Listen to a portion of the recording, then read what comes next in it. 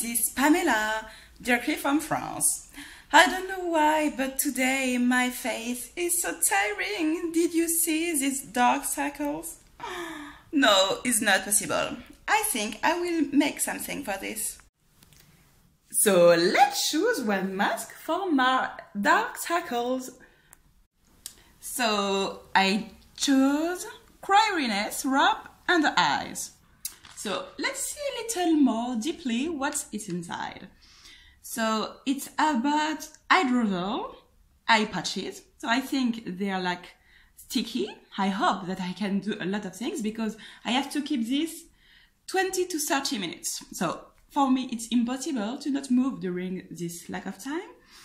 And it's help to reduce these dark eye circles, this puffiness, and uh, your eye contour appear visibly brighter and feel soft and supple. So let's see.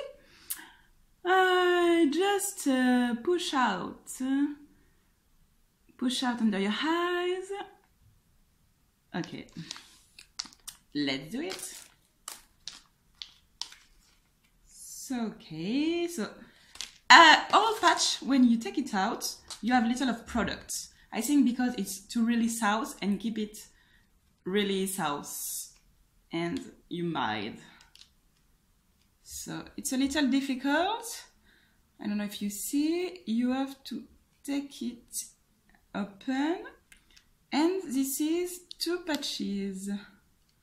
Okay, so this is a patch, stick on a little paper and I push it under my eye.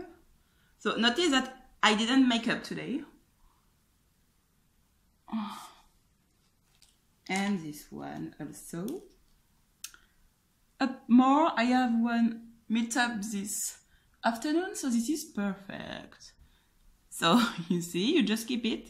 Just to uh, give you my appreciation, uh, my feeling. So it's something uh, really, um, really fresh.